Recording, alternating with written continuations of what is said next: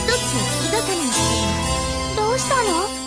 ベリアルがいなかった。私が洗脳されていた時は確かに例の悪魔使いと一緒にここにいたのにベリアルを倒さなければおそら。く3番目のポータルも開かれる。でもとりあえずこのポータルは消してしまわないとね。レナードよろしく。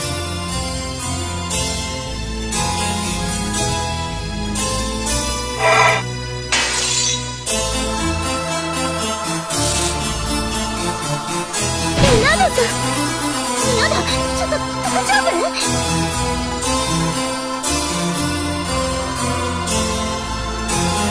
そうですね踊りましょう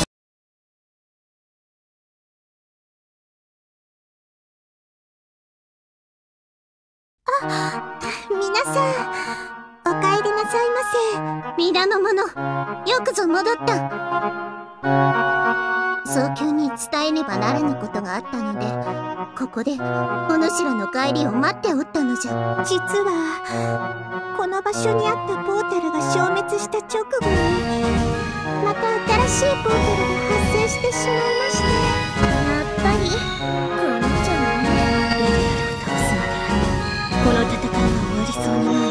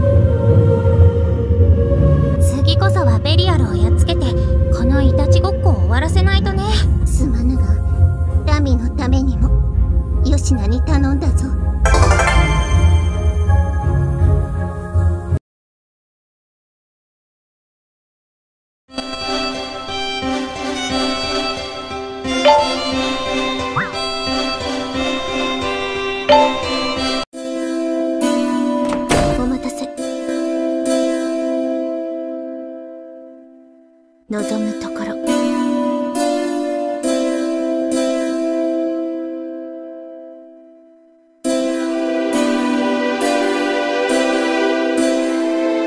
は。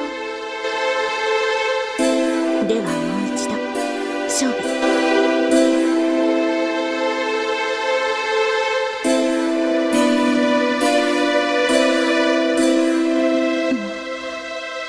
いつの間に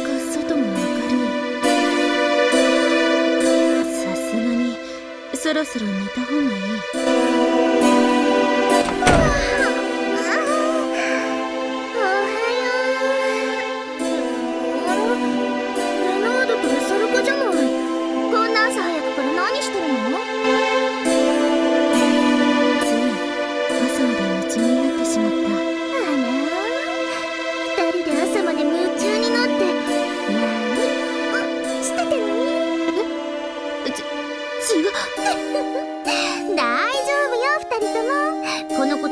には黙っててあげるから。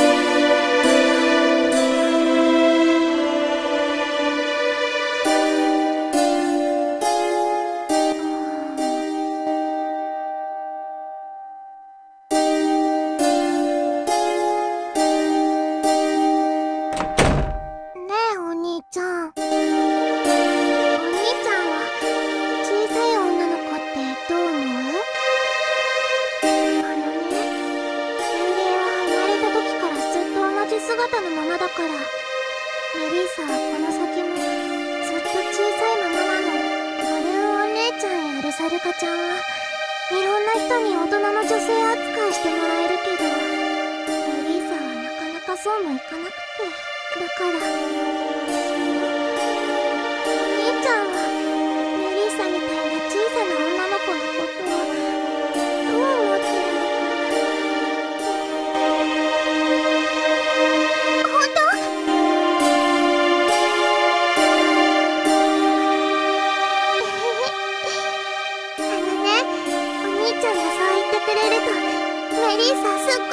しありがとう。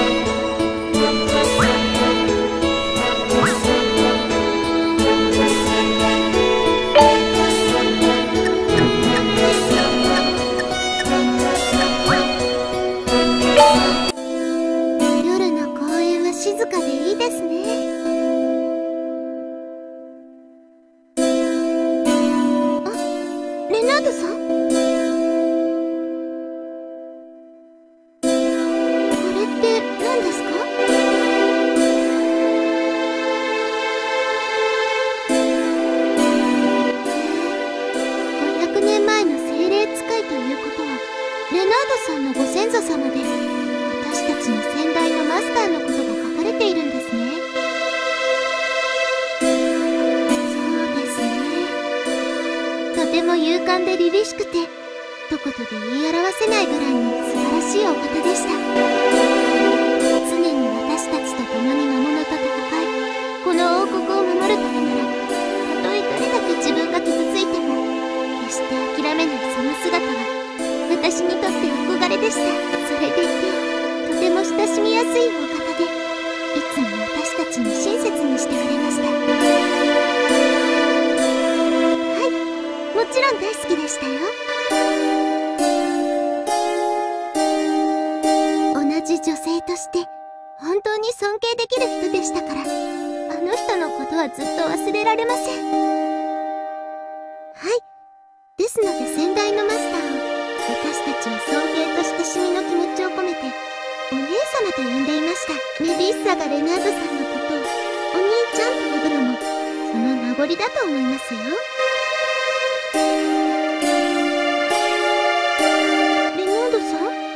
しましたか？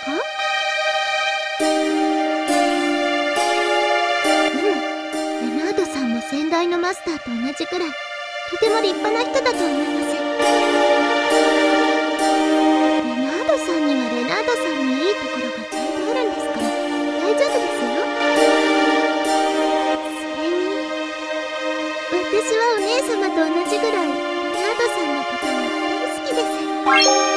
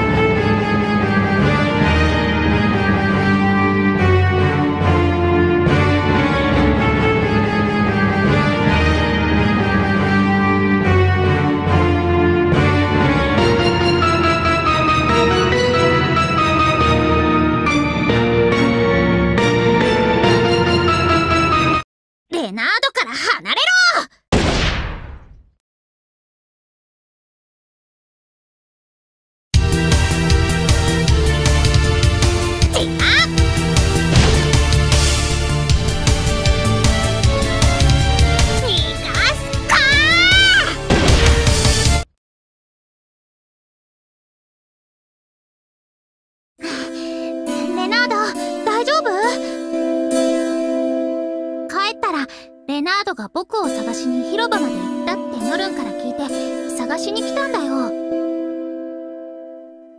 ところでどうしてズボンが脱げてるの？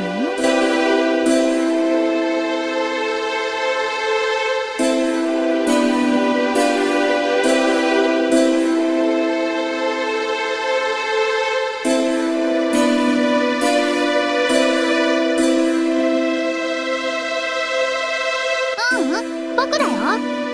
ナードがこいつらに襲われてたからやっ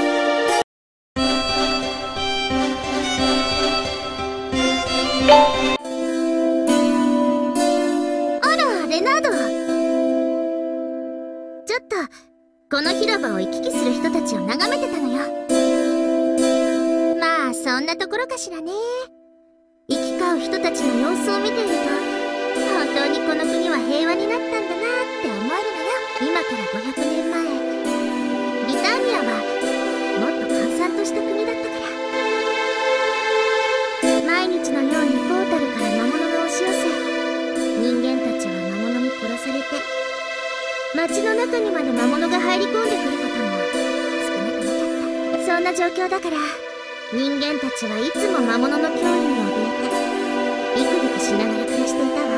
だけど魔物が姿を消した今は道行く人間たちみんながとても生き生きしている。柄じゃないかもしれないけどこの平和を守らないといけないって使命感みたいなものが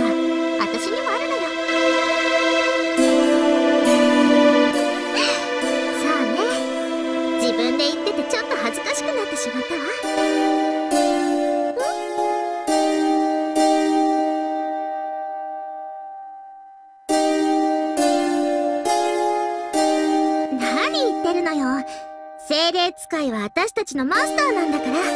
当たり前のことをしているだけよ。任せなさい。